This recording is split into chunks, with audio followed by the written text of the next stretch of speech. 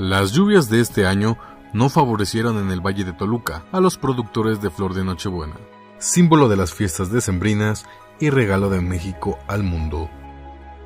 La lluvia fue la que nos afectó más con las plagas que caen a la, a la planta. Hay de, de, muchas plagas. Está la, una que le llaman la raya, la voltritis, la púrpura que le cae en el pétalo. Más o menos como de se nos pudrieron como 4 mil por todo porque ataca duro con las lluvias. El exceso de agua alteró el desarrollo de la flor, dice.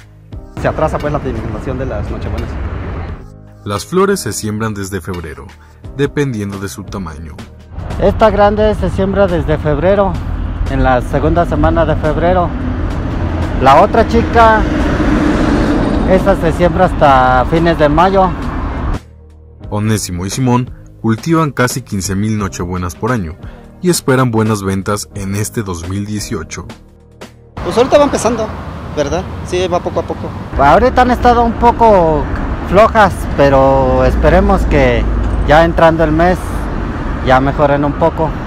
El Estado de México ocupa el sexto lugar del país en cultivo de flor de Nochebuena.